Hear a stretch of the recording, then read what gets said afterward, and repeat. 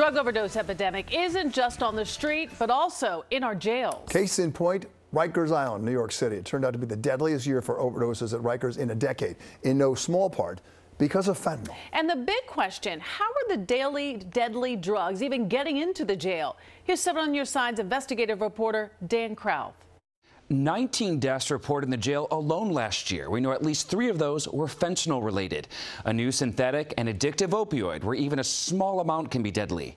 We found it's getting in past the barbed wire fences in three ways, starting with the mailbox. Mixed in with the birthday cards, I miss you notes, and holiday greetings was this a children's Christmas drawing laced with fentanyl.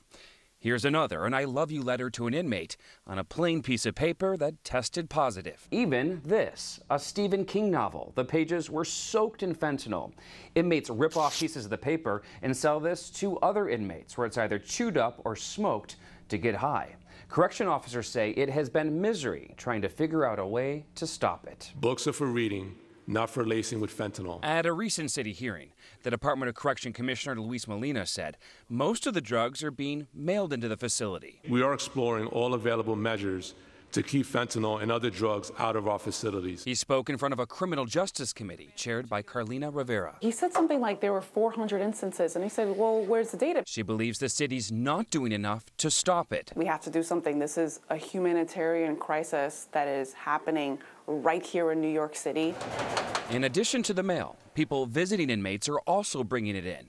56 people have been caught last year, along with two correction officers. We have zero tolerance for anyone who brings contraband into our jails. The jail's possible solution hire a company to electronically scan all of the mail, and inmates can view that mail on an electronic tablet like this. You're still waiting on data on specific cases, and you do have concerns about the tablets. We want to make sure that one, it's accessible and affordable, and two, that we're not removing one of, I think, the most human elements that is tangible mail that comes in from your family members. She wants a universal policy for physically scanning everyone who enters the jail saying the overdose situation is just one of many problems that have to be fixed quickly inside the complex. It's absolutely a, a case of mismanagement. What we really want to see is a plan going forward.